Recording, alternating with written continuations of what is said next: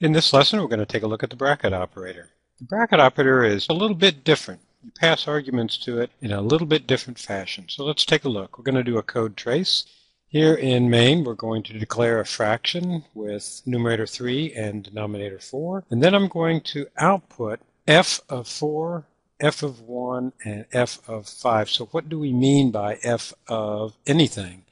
Well, the bracket operator also known as the projection operator, is typically used for indexing. So this example is a bit contrived, I know. What we're going to do is we're going to define the bracket operator to index into a fraction object. So the way we define it is to return an int that's going to be either a numerator or a denominator. It's scoped as a fraction, of course. And we pass to it an int called index. It's a const function because it's not going to change anything with the calling object. And what's it going to return? Well, if the index that's passed to the function is zero, we're going to return the numerator. And otherwise, we'll return the denominator of the calling object. So f of zero, that should return what? That should return the numerator, or in this case, 3. f of 1, well, the argument that we're passing is 1. That's what goes in for index here.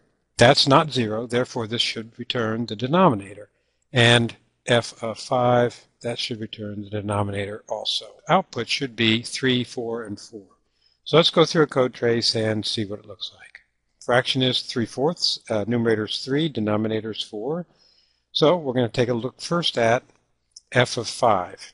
And call the function index is 5. That returns the denominator, and we put 4 into the output buffer. Then a space. Then we're going to call f bracket operator passing 1. Index is 1. That's not 0. And so we return the denominator. So 4 goes into the output buffer, then a space, and then f0. So we're passing 0 in as the index. So index is 0.